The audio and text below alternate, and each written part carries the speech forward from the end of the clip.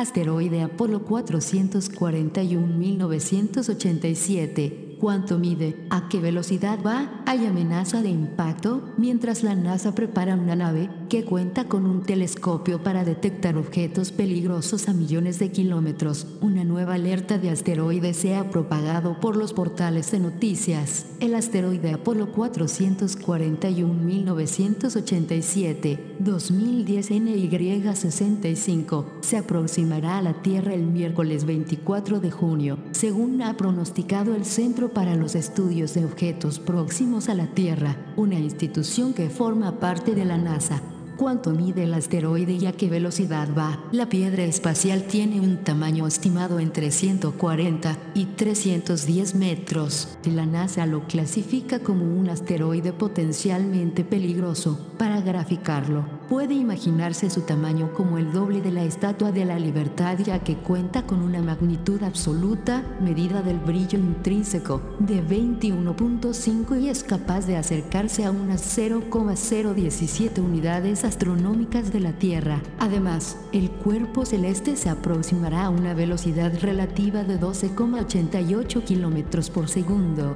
¿Qué es un asteroide Apolo? Recibe el nombre de Apolo, un asteroide descubierto en 1932 que atraviesa la órbita de la Tierra con el nombre de objetos Apolo se han designado a partir de aquella fecha a todos los asteroides que llegan al interior de la órbita terrestre, la distancia media entre nuestro planeta y el Sol. Además de este, existen otros objetos próximos a la Tierra, los asteroides Amor y los Atón, que se diferencian entre sí por el tipo de órbitas. ¿Qué peligro existe?